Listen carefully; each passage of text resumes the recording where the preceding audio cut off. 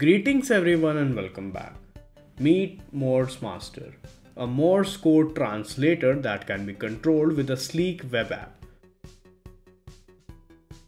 or a tactile push button. This device is powered by the Raspberry Pi Pico W development board, allowing us to connect it to internet.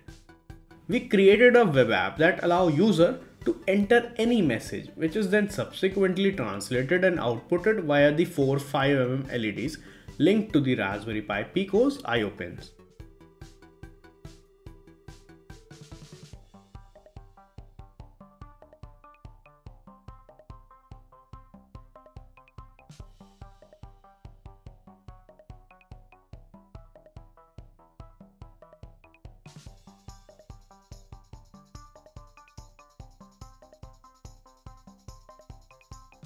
Furthermore, we have included a mechanical switch on the device that allow us to manually enter the Morse code. We designed the 3D model of the Morse code master in Fusion 360, borrowing inspiration from the real Morse code key devices used to type Morse code. Using one of our previously designed Raspberry Pi Pico expansion board PCB from a previous project, we use custom board to create a simple Raspberry Pi Pico W and 5mm LED setup that would be used to display Morse code via the red LEDs.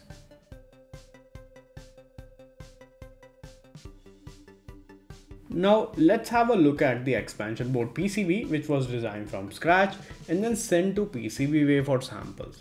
Expansion board order was placed for white solder mask and black silkscreen. After placing the order, the PCBs were received within a week and the PCB quality was pretty great. PCBWay's commitment to quality and customer satisfaction has been unwavering, leading to significant growth and expansion. You guys can check out PCBWay if you want great PCB service at an affordable rate and low price. Let's have a look at some of the alphabets we attempted in putting into the website. We'll start with the letter A, which is represented by a dot followed by a dash Next, we tried letter B, which is represented by a dash followed by three dots. We then entered letter C, which consists of a dash, a dot, and another dash, and a final dot. After mastering the code, we were able to pronounce hi in Morse code, which consists of H, 4 rapid blinks, followed by I, 2 quick blinks, with tiny intervals between each blink and somewhat longer break between two letters. This device allows you to translate sentences, character and alphabet into Morse code by accessing the web page or manually entering the Morse code using the onboard Morse code key configuration. The Morse code was created in early 1830s by Samuel Morse, an American artist and inventor, and his collaborator Alfred Vail. It was initially developed as a way to send communication over large distances using telegraph a revolutionary communication instrument at the time. The first version known as the American Morse code was employed dots and dashes to represent letters, numerals and punctuations. In 1851, a more standardized form known as International Morse code was established to incorporate non-English characters and diacritical markings, making it appropriate for global use. This form became universal norm and it is still acknowledged today. The Morse key, also referred to a telegraph key, was a device for manually transmitting Morse code signals via telegraph lines. It consisted of a lever that could be depressed to complete an electrical circuit, letting the current flow and provide a signal. Operator would press the key to create short signals dot and hold it down for a longer signal which is dash. These messages were then sent to an electrical pulses across telegraph cable to receivers where they were decoded into letters, numbers and symbols. For the design of our project, we modeled our design after the Morse key, creating an enclosure that holds the Pico W circuit within. This comprises of a main body, a lid which we have attached to lever holder. We included a lever alongside the lever holder and one side of the lever we included a knob similar to the one found on the Morse key which allow the user to correctly grip the lever and operate the device.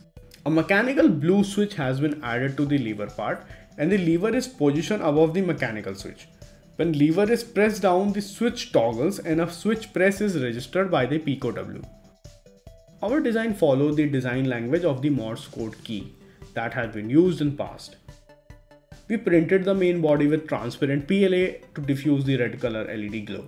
The lid part was printed with brown PLA and the lever and the lever holder were printed with grey PLA and the knob was printed with black PLA.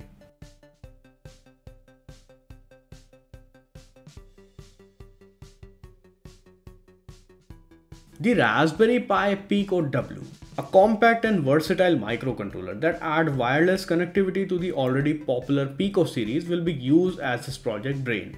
It is powered by the Raspberry Pi Pico's RP2040 chip and has a dual core ARM Cortex M0 processor that can run at up to 133 MHz, making it both efficient and powerful for a variety of applications. This microcontroller which include a 2.5 GHz Wi-Fi was ideal for our Morse code translator device as our project utilizes a web app.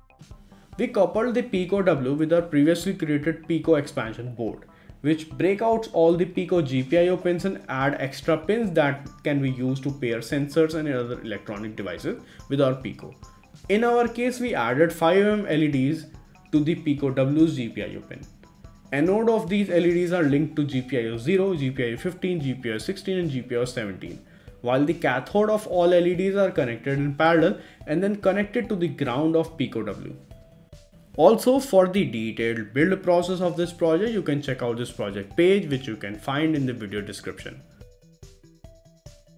The ultimate result of this build is a functional Morse code translator device that can be operated via web app or by using the onboard key mechanism to input Morse code, which will be displayed via the LEDs. Using this device, one can access the web page and translate whatever the message they want to enter into the enter message bar and then click the submit button, which will start the translation process. The LED blinks in response to the each letter in Morse code.